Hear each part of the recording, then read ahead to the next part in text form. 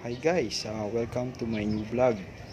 So, uh, preview natin o papakita natin sa ating vlog ngayon ay ang mga affordable o murang accessories para sa ating Honda Click. Kasi uh, ito ang second batch ng ating uh, mga accessories na binili sa Lazada. So, syempre, pag meron tayong motor, gusto natin pagandahin. So, ang first batch kasi na binili natin, yung pinireview natin sa last, uh, sa previous uh, video natin yung tire hugger saka yung panel protector. So ito sa aking vlog bagong vlog ito bumili tayo ng ito yung uh, helmet hook. Kasi ang helmet hook ni Honda Click uh, medyo simple parang pag sinabitan natin siya pwede mahulog yung mga sinabit yung bagay. So itong helmet hook na to meron siyang spring lock na pwede natin makikita natin yan. Mas sinabit yung bag, bagay o plastic bag, bag mga bag natin. Uh, so maglalak na siya. Hindi siya basta basta mahuhulog. So ayan. Then susunod naman itong ating axle cap so simple lang yung pinili natin. Actually meron siya mga ibang uh, itsura na mas magaganda pa. Ito simple lang ang binili natin.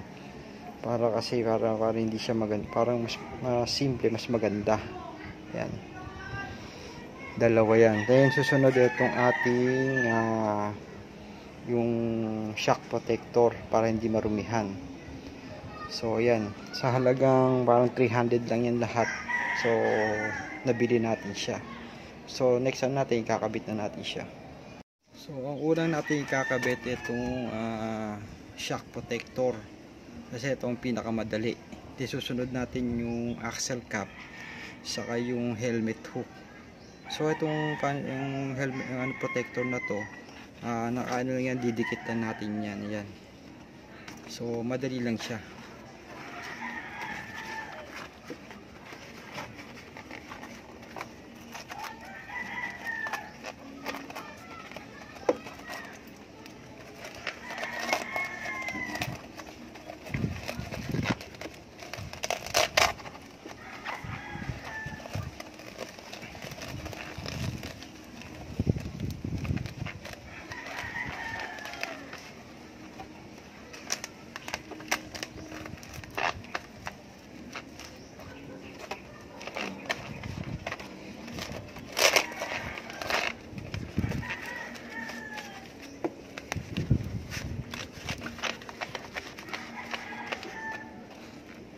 Ayan. So yan, nakakabit na. Mabilis lang siya ikabit. Ang purpose kasi nito, yung mga putik na nanggagaling sa gulong, uh, ito, i-absorb niya para maprotektahan natin ng ating uh, ating shock. Tapos ito, washable naman siya para matanggal yung mga putik. So since tapos na tayo dito sa ating uh, shock protector, sunod naman natin yung ating helmet hook pagkakabit naman ng ating uh, helmet hook. Gagamit tayo ng socket wrench. Yung size niya ay 10mm ayan 10mm so start na natin magtatanggal ng ating uh, yung naka-stock na helmet hook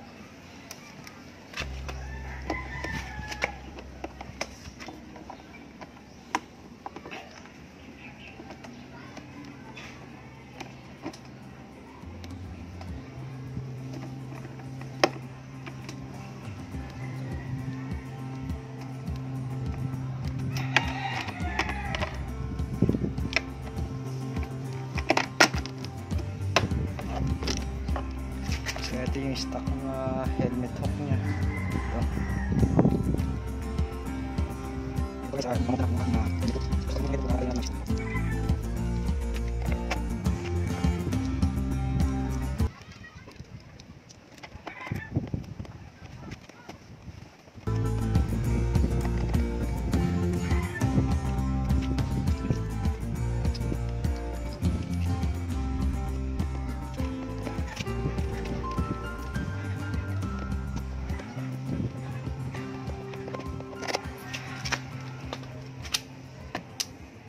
Ayan guys, nakakabit na. Ayan. So napalitan na natin yung ating helmet hook ng merong lock. So ngayon, safe na yung sasabit natin dito. Then ang start, sunod naman natin kakabit yung ating uh, axle cap. So pagkakabit naman ng axle cap ah, dito sa ating ah, unahan na to dito, yan, yan ating kakabit yung axle cap.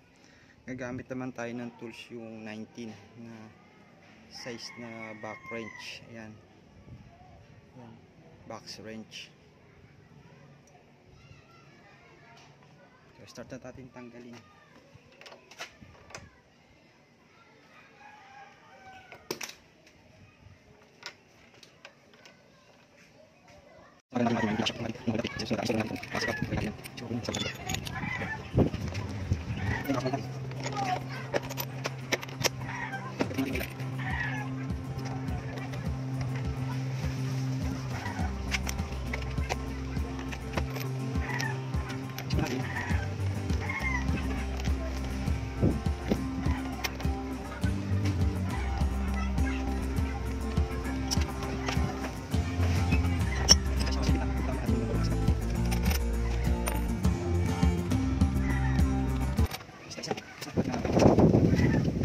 Guys, ayan, nakakabit na ang ating axle cap sa ating Honda Click.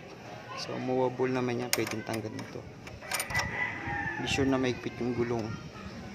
Uh, screw natin.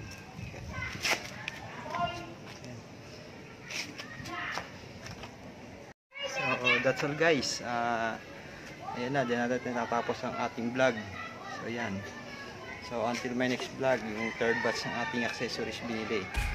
So thanks guys for watching. Bye-bye.